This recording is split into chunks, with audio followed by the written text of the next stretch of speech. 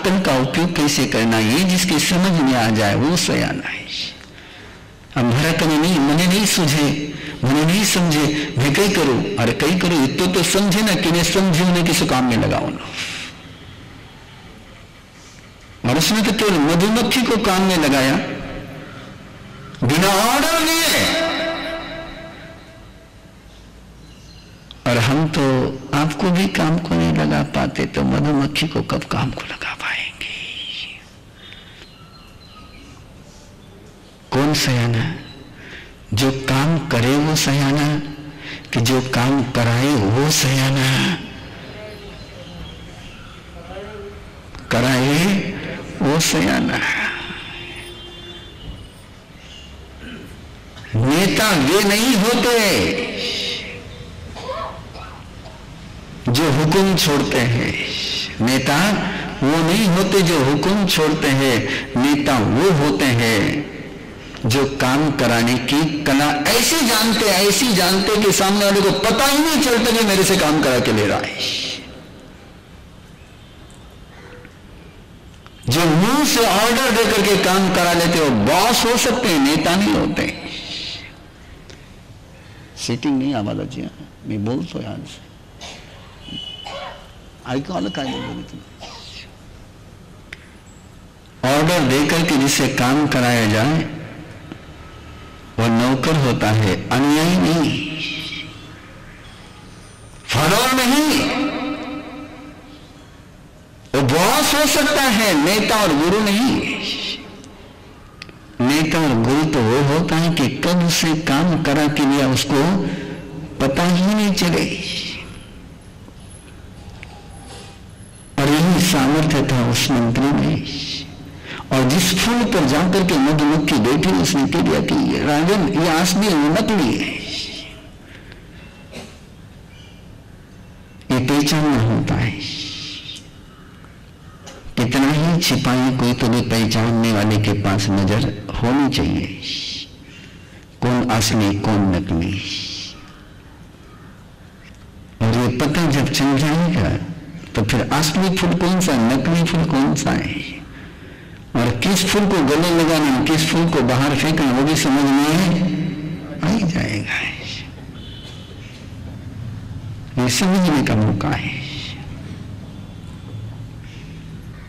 आपके हलवे में बाल आ जाए तो आपके बोलते देखते हो कि निकाल के फेंकते हो। बढ़िया हलवा बना करके परोसा है, और मुँह में कवर बना लंबा सा बाल निकला, रेशमी बाल के करके निकल जाओगे कि निकाल दोगे? क्या करोगे? पोस्टमार्टम करोगे? खोज करोगे? क्यों पड़ा था? कैसे पड़ा था? क्या हो गया था? कि निकाल करके फेंकोगे? तो कॉमन सेंस तो केवल इतना ही है। कि हलवा कितना ही प्यारा हो तो हलवा ही निकलना, बाल नहीं निकलना है। और हलवे में आया हुआ बाल जिसके समझ में नहीं आता, उसने हलवा खाना ही नहीं। उसने हलवा खाना ही नहीं, जिसको समझ में नहीं आ रहा कि हलवे के साथ तुम बाल खा रहे और बाल खाने के लिए नहीं होता बाल, फेंकने के लिए होता है। ध्यान में रख लेना है। ज़्यादा नहीं बोलूँगा मैं आज। ज़्यादा नहीं बोलूँगा। मैंने तीन बातें आपके पास पहुंचाई इस अध्याय के सूत्र है।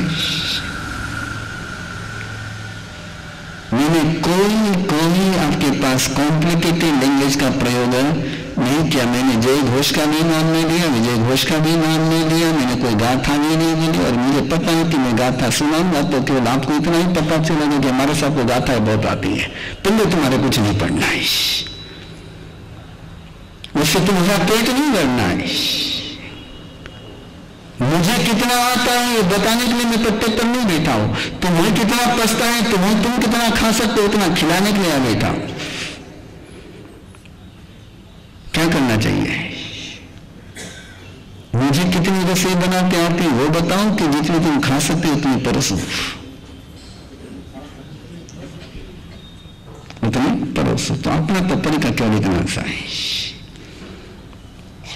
जितना तुम्हें खा सको आराम से खा सको प्रेम से खा सको तो बड़े का एक कैरेक्टर होता है छोटे को संभालने का और बड़े का एक कैरेक्टर होता है कि छोटे को समझ करके लेने का कि कहाँ से उसको संभाला जा सकता है। और बिल्कुल बड़े भाई ने आराम से कह दिया कि मुझे आहार की ज़रूरत नहीं है। मुझे आहार की ज़रूरत नहीं है। मैं आहार के लिए आया ही नहीं यहाँ पर। तो तुझे ले जाने के लिए आया हूँ। कहते हैं मराठी में मागता मागता मागता देणाऱ्याचे हातच तो मागून घ्यावेत तो बिल्कुल उसने नहीं किया है। वो आहार देना चाहता बोले, आहार नहीं दे, तू आ जाए डोंट तो चिंतेशन में आज होती કદાચ સૂર્ય નથી કે પ્રભુ વિશે તમે બીજાઓને आया है ना मैं तो क्यों लगे मेरे साथ घना काम बाकी अंबर कटे ले जाऊंगा नहीं बिल्कुल तुम्हारा पक्की धारणा कि तुम्हारे बिना काम होगा ही नहीं थे नहीं गया तो सगा काम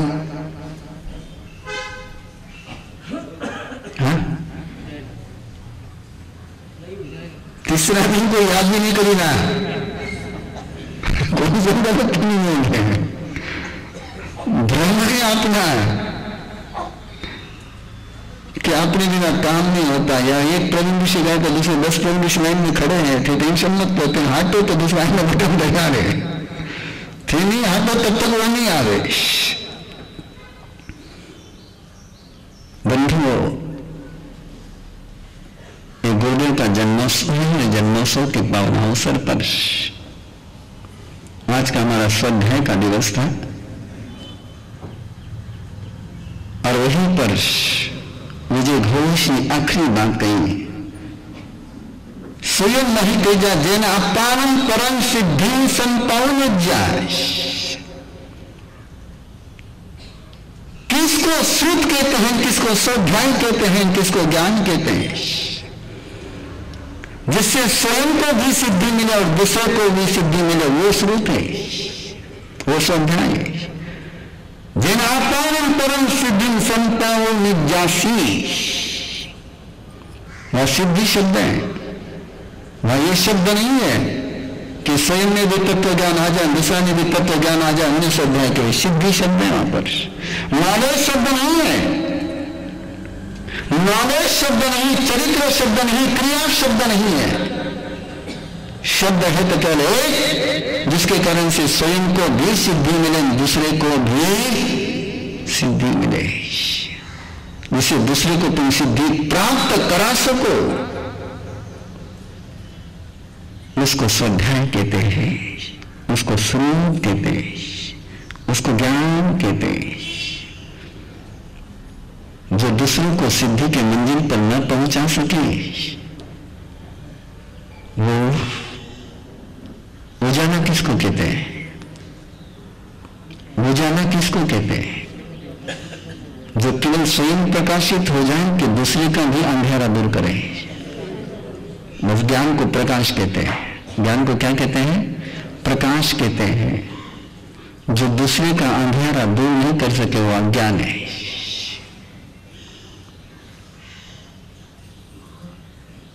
जो दूसरे को मंजिल पर नहीं पहुँचा सके वो अज्ञान है। जय घोष और विजय घोष का पूरा पंधा आपको सुना दिया है। बहाने छोटे कर सकते हैं, बड़ों को बहाना करने का अधिकार नहीं होता है।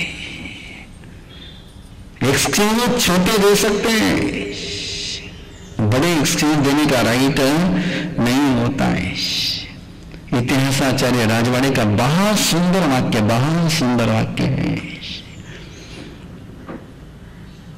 राजाला तक्रार करण्याचा अधिकार नसतो फक्त तक्रार निवारण करण्याचंच कर्तव्य असत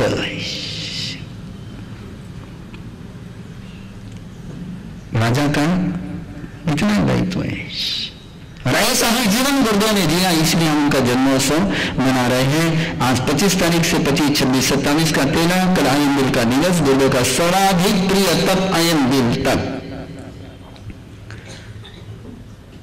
मैं नहीं कहूँगा कि आप जैसा गुरुदेव आयन बिल करते थे, वैसा करो, वैसा आयन बिल करोगे तो सच में बड़े भाग्यशाली बन जाओगे। गुरुदेव का आयन बिल तो बड़ा सीधा साधा था, बहुत सीधा साधा था। फल के लिए पानी में डूबे निकल गए और वो पानी भी सिंपल हाँ मुँह का पानी नहीं, दाल का पानी नहीं, किसी का पानी नहीं, सिंपल पानी। फल के उसमें डाल दिए निकल गए। न पटोड़िया है, न मूंग है, न चावल है, न मुरमुरिया है, न चना है, न बेसन है, न कहीं नहीं मैं तो चाहूँगा तो कम से कम गुरुदेव के निमित्त से करने वाला आइंदिला पैसा करो। एक दिन तो करके देखो कि गुरुदेव कैसे करते थे। ओ